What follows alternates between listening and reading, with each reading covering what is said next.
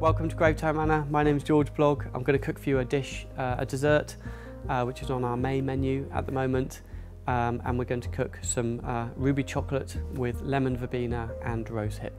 This is one component of the dish. These are a few leaves which we make out of a raspberry puree. So we're just going to spread these into this template, this stencil. Uh, these leaves we dry out overnight before we dehydrate them.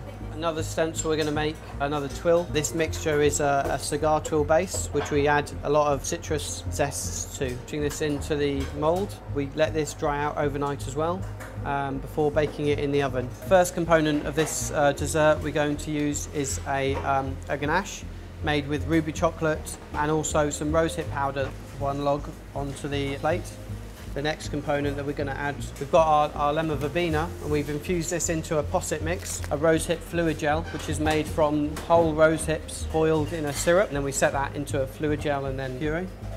We then have a few tuiles. We set these, when they come out of the oven, onto a tuile rack. We're just going to dust these lightly with a little bit of icing sugar. We're going to add a couple of our crisps to the dish. Next we have some ruby chocolate that we have added onto some rosehip powder. So we're just going to take some of these strands off and add them onto the, the dish as well. Sprinkle a little bit of the uh, rosehip powder on the, on the dessert too. We have some of our raspberry leaves, which again we store so they're slightly curving around. To finish we have some lovely pieces of the lemon verbena. So this is our dessert which uses ruby chocolate, rosehip and lemon verbena.